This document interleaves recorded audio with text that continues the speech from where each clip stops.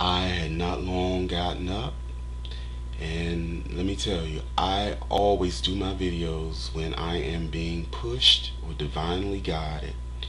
And um, many times when I do the videos, I'm cautiously sharing information because one thing that I never want to do is be one to, even if it's unintentional, promote fear.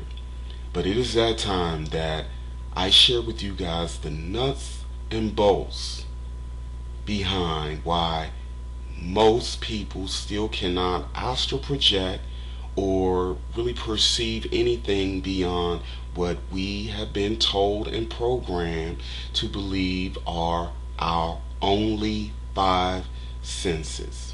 First of all, I often use metaphors to describe the nature of consciousness and how we flow within this particular construct.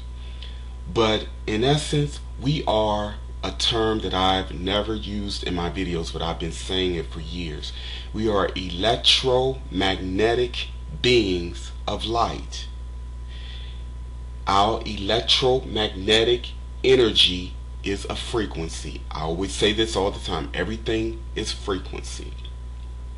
However, most of us are more wired and connected and aware of the physical vessel which has been genetically compromised by the very same intelligences that are ruling this planet as we speak. These intelligences have been in positions of power to bring about and to manipulate us into bringing about a favorable reality that suits them more so than us. Hence, their heaven is our hell. So what I'm ultimately saying is that what we see in terms of reality is socially engineered. It is socially engineered by way of electromagnetic energy the frequencies that we cannot see that are emitting from the cell phones, the satellites, the chemicals in our food. I had mentioned earlier uh, uh, about uh, eight videos back about the reason for the fast food industry being open 24 7 it is because the intelligences that are governing this planet is aware of the higher frequencies that are coming in. So, what are they doing, or what they think they're doing in terms of stopping the elevation in consciousness?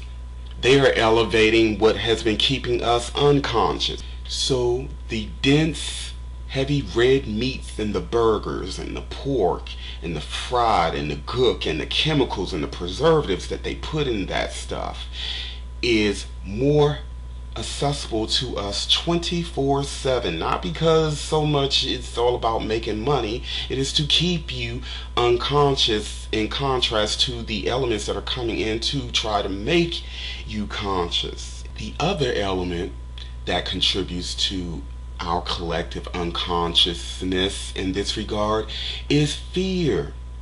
The mass media and even organized religion is focused more on fear. A lot of people running to church and going to get salvation not because they want love and want to exalt love and be loved.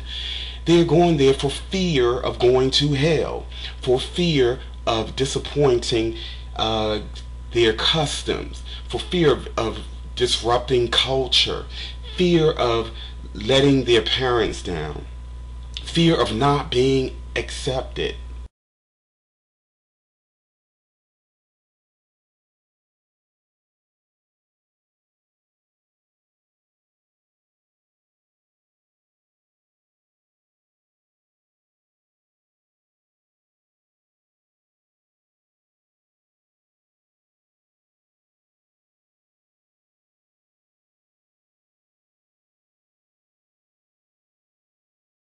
So those minions or beings who are cloaked as humans have been birthed in every single facet of society.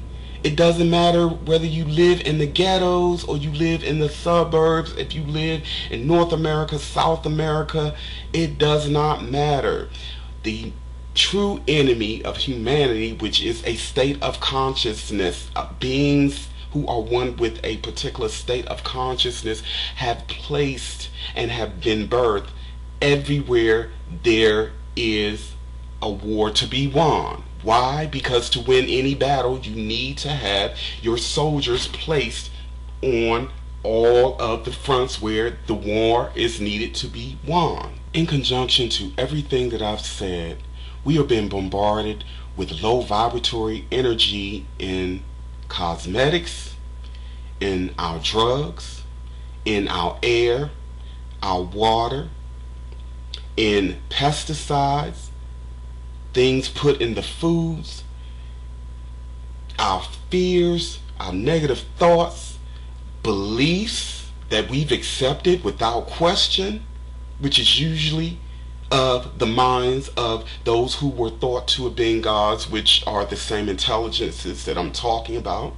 when you strip it down to the bare nuts and bolts, the reason why most of society is unconscious is because we are basically being thrown in a toxic soup of anti vibrational electromagnetic energy and waves that keeps us imprisoned, enslaved, blind, confused, and, for lack of a better word, degenerate. It is no coincidence that we have a culture that loves gossip and loves to see people fall, love violence, love excessive lustful sex, and it's all about pushing the envelope and getting the next thrill by way of enjoying and wallowing and reveling in extreme negativity. Why is that? Because you have been trained and programmed to do this so that you keep your your invisible bars up. This is not a conspiracy theory.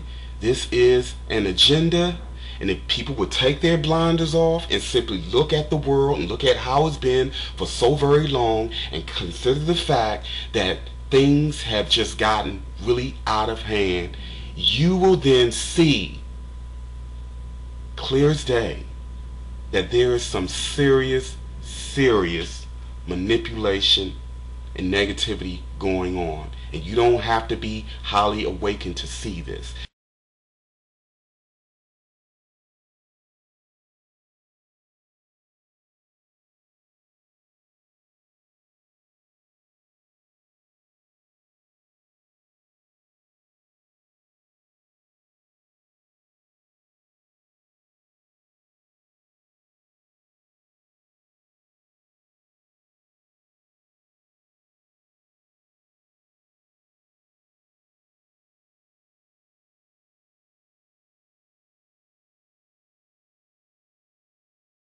The occult simply means things that are hidden. And one of the reasons why we suffer is because we lack knowledge. Again, another universal truth, one of the truth that Christians talk about all the time, or even uh, many religions talk about. We do suffer for lack of knowledge. But why don't we have the knowledge? Because it is hidden. So when you are open to your true nature, you are able to access that information without the middleman or a middleman who is usually one with the same consciousness that's keeping you in a state of fear and toxicity, which ultimately keeps you blind and unable to astral travel to get the information firsthand, which keeps you blind to seeing a deceptive politician when he's before you, or those that are so called smiling in our face and pretending to be leaders. If you were one with your internal GPS, you could see those those people for who they are and you would not give them your power. But again, that's why they want to keep you unconscious so that you cannot do these things and so that they can continue to keep their illusion and their matrix strong and in rare form. This is very deep. The rabbit hole is deep. I know it's hard for a lot of us to accept, but it is what it is.